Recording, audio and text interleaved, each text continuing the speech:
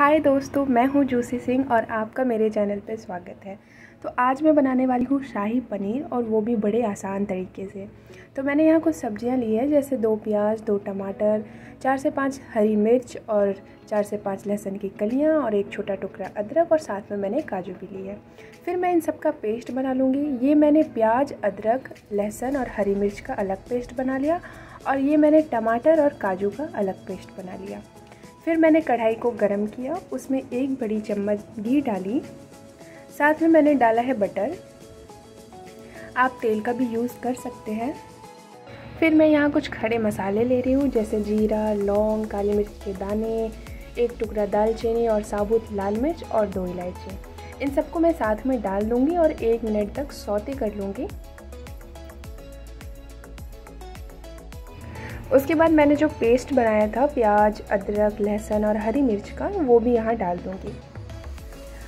उसके बाद मैं इसे चार से पाँच मिनट के लिए अच्छे से सौते करूँगी, क्योंकि मसाले जितने अच्छे से भूनेंगे, उतना टेस्ट अच्छा आएगा।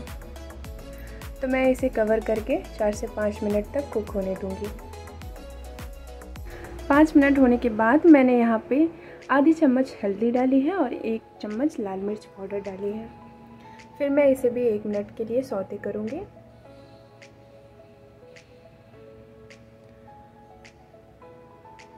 उसके बाद मैंने हाफ़ टी स्पून धनिया का पाउडर डाला है।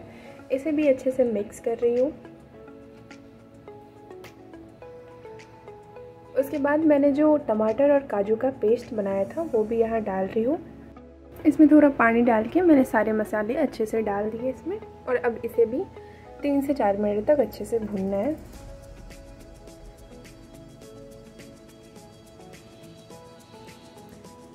उसके बाद मैंने यहाँ स्वाद अनुसार नमक डाला है। और साथ में एक चम्मच कसूरी मेथी। इन सबको अच्छे से मिक्स कर लूँगी और फिर इसे ढक्कन लगा के तीन से चार मिनट के लिए कुक होने दूँगी। उसके बाद ये थोड़ा थोड़ा तेल छोड़ देगा। फिर मैंने यहाँ पे दो चम्मच दही यूज़ किया है। अब इसे भी मिक्स कर लूँगी अच्छे से।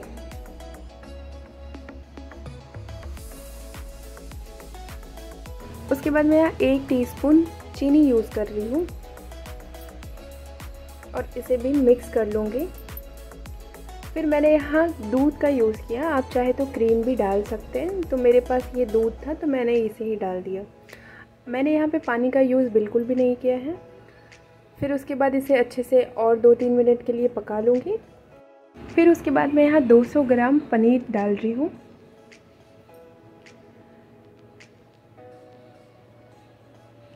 फिर पनीर डालने के बाद मैं इसे एक दो मिनट के लिए और अच्छे से सौते कर लूँगी। सारे मसालों को अच्छे से मिला लूँगी।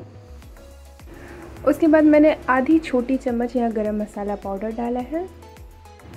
फिर एक मिनट के बाद मैं गैस बंद कर दूँगी और ये शाही पनीर बनकर तैयार हो गई है। और फ्रेंड्स, ये खाने में बहुत ही स्वादिष्ट लगती है। आप भी ऐसे ट्राई ज़रूर करें। आप इसे रोटी के साथ, पराठे के साथ, किसी भी चीज़ के साथ सर्व कर सकते हैं। तो अगर आपको ये रेसिपी पसंद आई हो तो प्लीज़ मेरे चैनल को सब्सक्राइब करें।